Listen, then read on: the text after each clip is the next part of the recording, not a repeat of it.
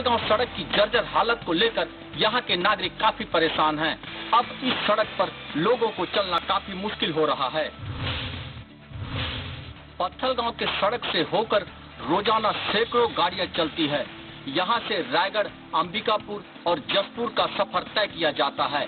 लेकिन बरसात के बाद इस सड़क का हाल इतना खराब हो जाता है कि गाड़ी को चलना तो दूर लोगों को चलना तक मुश्किल हो रहा है।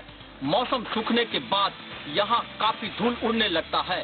अब लोग यहाँ काफ़ी मुश्किल से चल पा रहे हैं। धूल की वजह से लोग बीमारी से ग्रसित हो रहे हैं।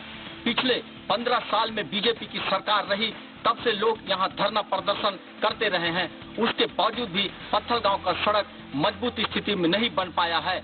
आज भी यह सड़क इतनी जर्जर हो चुकी है कि लोग इस सड़क पर चलने के लिए घबरा रहे हैं।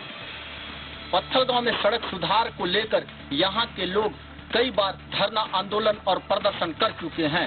अब देखना होगा, यहाँ का जर्जर सड़क कब तक सुधर पाता है। पत्थलगांव से एक्सप्रेस रिपोर्टर मनोज अम्बस्ट